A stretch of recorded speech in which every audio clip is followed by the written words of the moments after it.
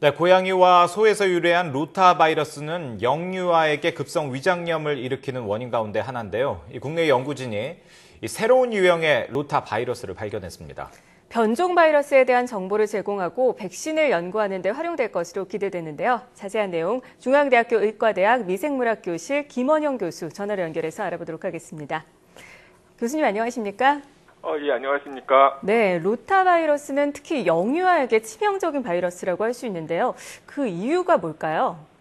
예, 그 루타 바이러스는 전 세계 영유아에서 심각한 탈수성 설사를 일으키는 가장 흔한 바이러스로서 세계 보건기구가 최우선적으로 퇴치할 전염병으로 지정한 바 있습니다. 예.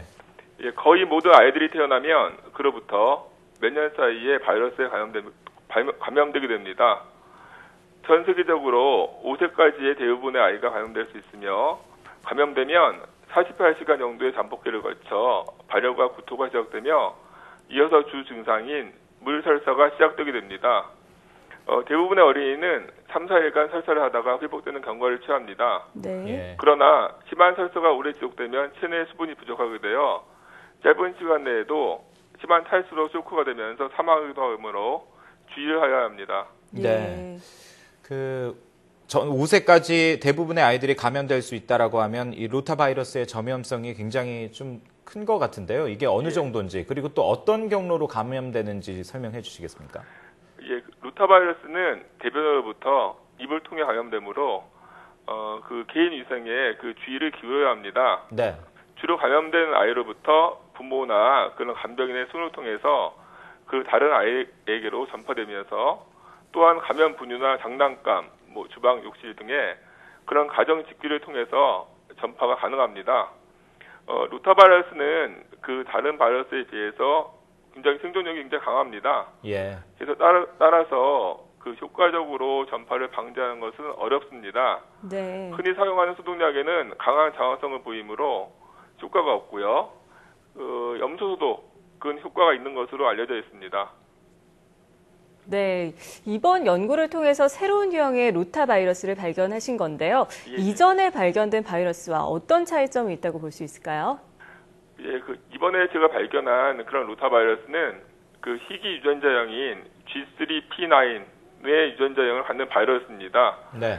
저희가 유전자를 분석한 결과 이 바이러스는 루타 바이러스가 지니는 11개의 RNA 유전체 중에서 6개는 고양이 루타 바이러스, 또 5개는 소 루타 바이러스의 유전체를 가지고 있었습니다. 네. 일반적으로 루타 바이러스인 경우에는요, 사람 바이러스는 사람의 그런 바이러스 유전체를 가지고 있는데요. 예. 이 바이러스는 다 동물의 그 유래였고요.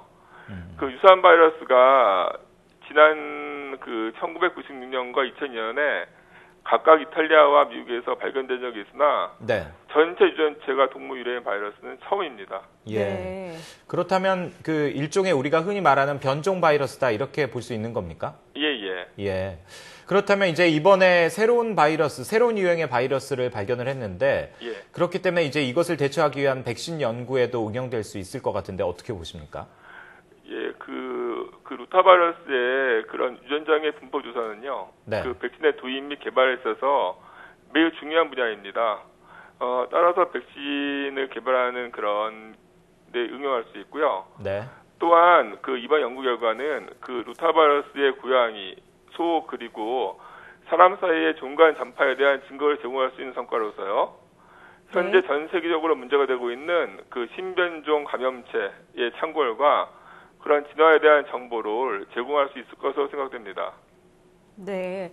아주 다각적으로 활용될 수 있을 것으로 기대가 되는데요. 마지막으로 이번 연구의 의미와 앞으로의 연구 계획에 대해서도 설명을 좀 해주시죠.